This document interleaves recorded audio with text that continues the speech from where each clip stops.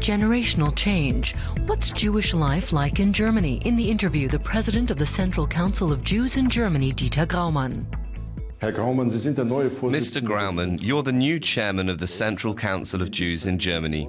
Born in Israel, your first name's Dieter. That's extraordinary.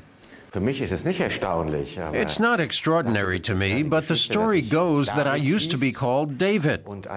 I was due to start school here in Germany, and my parents put me in front of a mirror and said, David, now your name is Dieter.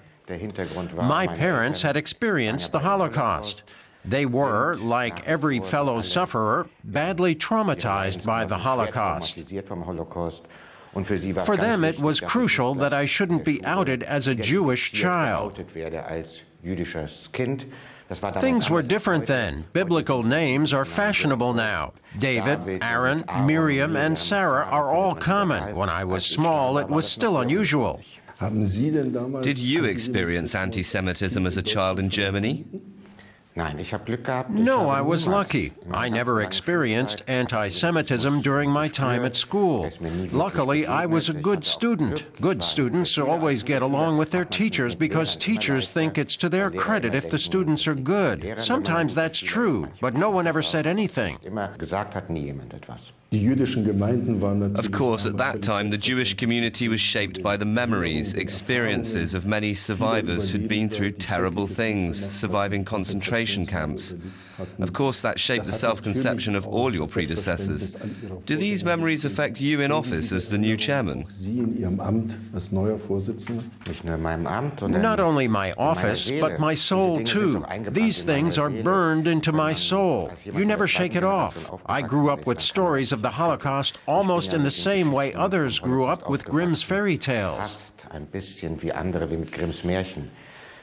Parents from the Holocaust generation had two different approaches. The first kind never mentioned it to their children. Others talked a lot about it.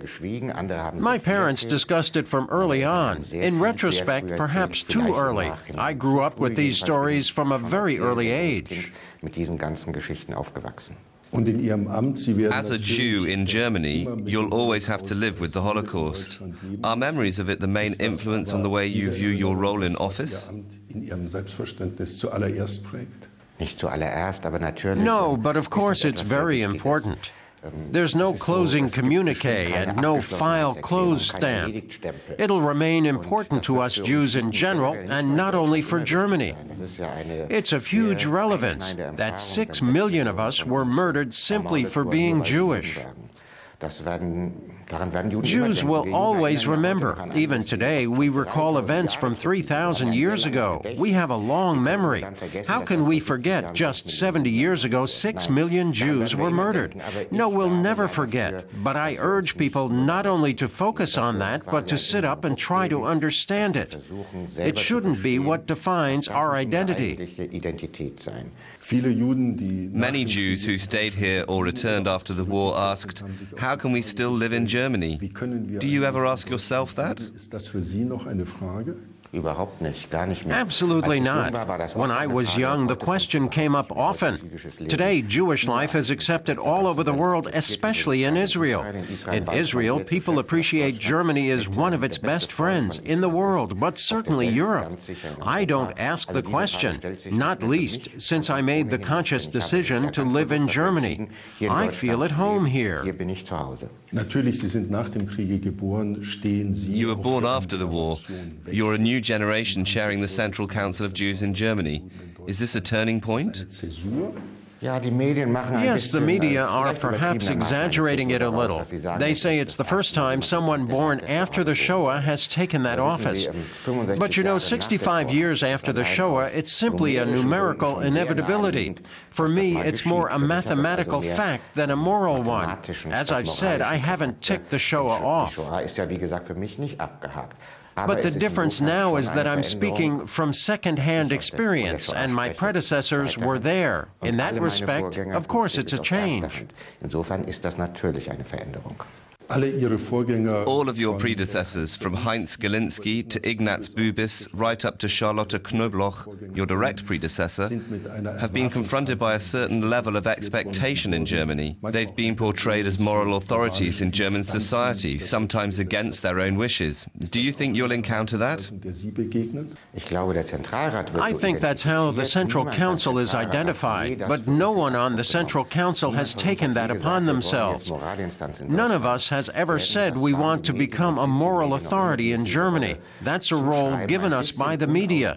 The implication is that we speak for six million murdered people, perhaps implicitly. It's a bit like that. Is there any everyday anti Semitism, perhaps not always visible to non Jews, or is there none of that? I'm sure there is. When you look at the latest surveys, there's more than we thought before, more than I would have believed. But I must say, everyone has a different experience. Personally, I've not encountered it. Do you sometimes get the impression that strong criticism of Israel here is just a veiled form of anti Semitism? Yes, I'm sure that does happen. It's okay to be critical of Israel or of current Israeli policy. Current Israeli politics are criticized loudest in Israel itself. Israel is a very vibrant democracy, the only one in the entire region. That's given far too little recognition and respect. But that's why it's okay to criticize Israeli politics. To do so very strongly is absolutely legitimate. But you're talking about something else when criticism is used as a vehicle for peddling the old kind of anti Semitism, an ersatz Semitism where people say Israel but mean Jews. That does exist too. Do you ever get annoyed at the criticism of Israel? Objective criticism of Israel doesn't bother me. Sometimes I think Israel bashing has just become fashionable, and if you look at the popularity rankings of countries, Israel is often right down between Iran and North Korea. I can't understand that. But normal criticism doesn't annoy me. The boundaries only crossed when Israel is generally demonized, when people deny Israel's right to exist, generalize about Jews, or make terrible comparisons between what the Israelis are doing today and what the Nazis did. That's crossing the red line well into anti Semitic territory, in my view. Mr. Graumann, the Jewish community, which for a long time numbered about 40,000 people, has probably tripled over the last 20 years. There are significant problems with the immigration of Eastern European Jews. Is there a successful integration of the many recent Jewish immigrants in the community in Germany? I would change the emphasis. It's not a problem, it's an opportunity. There have been huge achievements in integration. Look at the debate raging in Germany, fueled by Mr. Sarrazin and others. We've been integrating for 20 years, and how? 10% has had to integrate 90%. It's a real semantic novelty. You don't find it every day. Though not complete, we're doing very well. We're growing together into an entirely new community. We're building on Germany's new plural Jewishness. It's something new. We don't have to reinvent Jewishness, but we have to rediscover ourselves and grow back together. There's a new kind of Jewish plurality emerging that hasn't been seen for decades. For us, it's a source of huge strength and enrichment. Mr. Graumann, thanks for talking to us.